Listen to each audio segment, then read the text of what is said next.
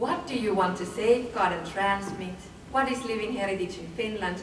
And how can we make diversity visible also in this context? I'll let you go. According to UNESCO, what is then living heritage? Uh, the convention is a 13 pager, so not very much. But when tens of countries or states discuss what, could, what can be in one, one document, it's not really a lot. But festivities and practices is one of them. There we see a bonfire. It can be either on midsummer or on Easter. Music and dance, that is certainly something that comes into one's mind right away. Performing arts, be it theater, puppet theater, circus culture. Oral traditions, of course. Language is really something where we transmit the culture forward. Crafts. This is maybe something where the tangible and the intangible comes most close to each other. They are basically the side of, of one coin. Food traditions. I think here, both with the food traditions and festivities and practices, it's really something that makes heritage an, like an everyday thing for all of us. It's not about if you live in a mansion or go to a museum, but you, you live with your living heritage every day. Games and playing as well. Also nature and the universe, whether we go skiing or we pick up blueberries or, or so on. The Convention for the Safeguarding of Intangible Cultural Heritage, it's, a, it's quite a new convention. But what is really remarkable is that so far 174 states have already ratified the convention. and I think all of you know about the World Heritage Convention and the World Heritage List. So this is kind of, kind of a sister convention to that one. But this is focused on living heritage, something that is happening now when we live and it has its uh, roots somewhere else in the history. Aims are to promote the safeguarding of intangible cultural heritage, ensure respect for intangible cultural heritage, not certainly an easy task, but an ambitious aim, and also to, sorry, to raise awareness on the importance of it. In Finland, we have been on, on board now for uh, four years, and uh, I, I am the full-time coordinator, and we also have an advisory group under the ministry. What is then the safeguarding that is mentioned so often? It's something safeguarding without freezing. So this is now not the rehearsal where we take the sauna vasta and put it into a vitrine and try to keep it the same all the time, but this is something about active use. Best safeguarding is when living heritage is in use and is lived it's about awareness raising, even inventorying. I'll tell you in a moment more about that. Documentation, research, also about protecting related places and materials. Encouraging transmission through education.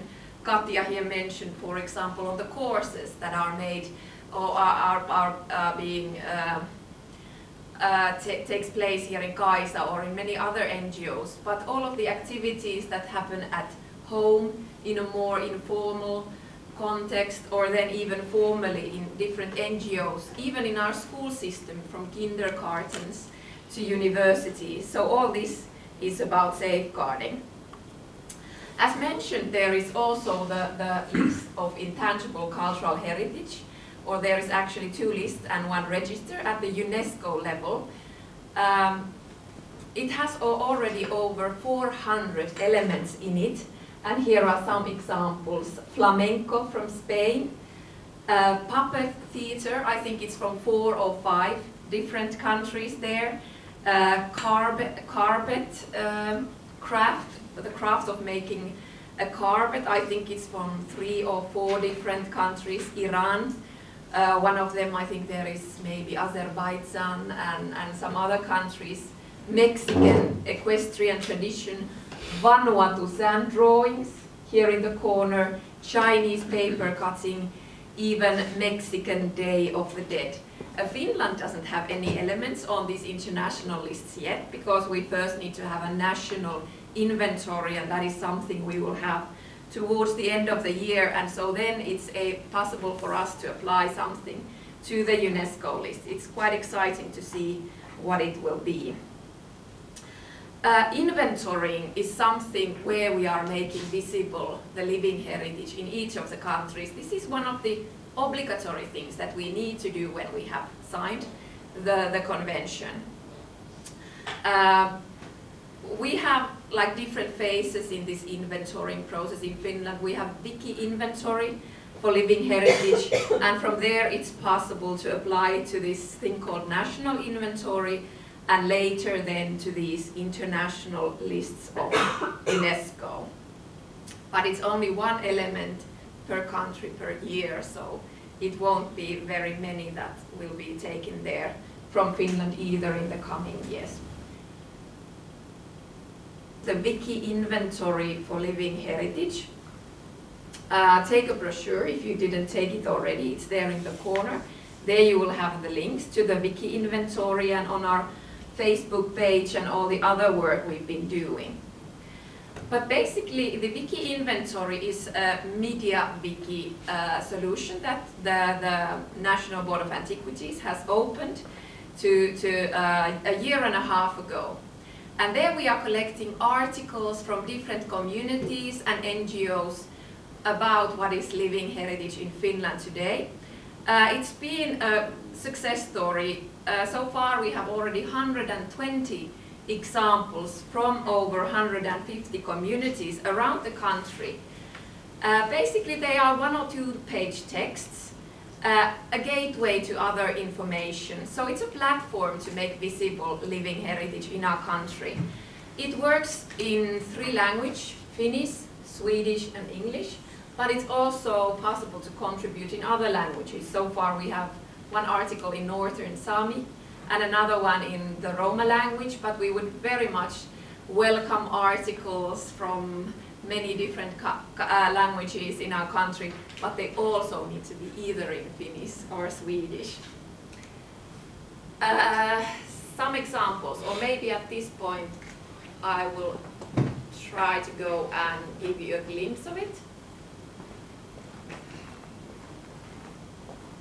How it looks like, wiki inventory for living heritage. Let's try to get rid of that. Oh no! Minor technical problems.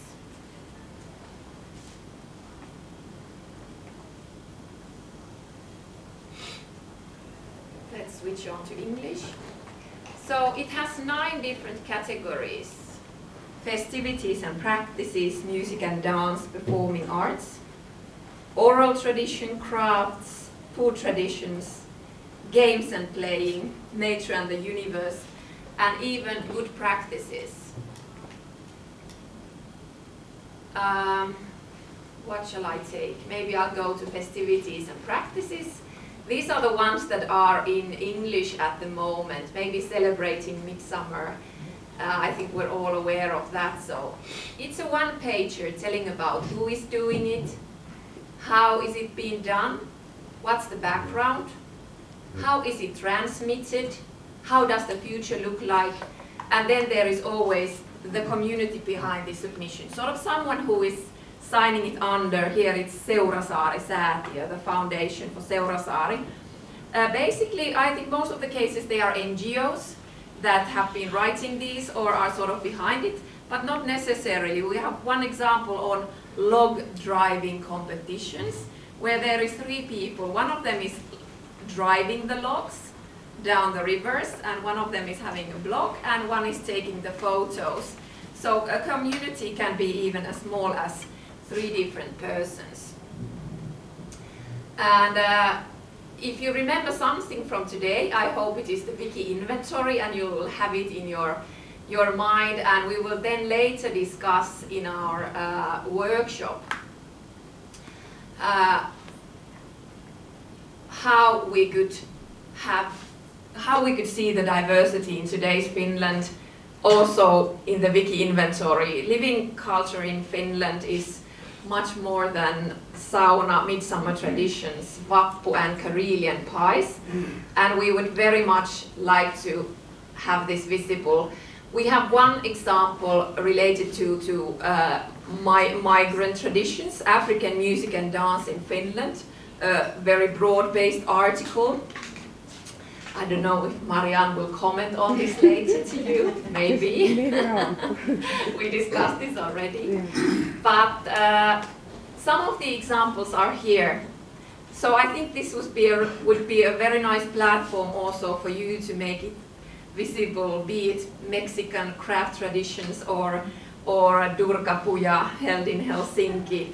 So let's talk about that later then in the afternoon. Some examples, what is missing, welcome to contribute. And here I will finish this off by just showing the links that we have and do take a brochure and have a look then later. Maybe if you have a question or two, there is still, I have two minutes left. Yes, you have, Efficient me despite the technical problems, so, so thank you.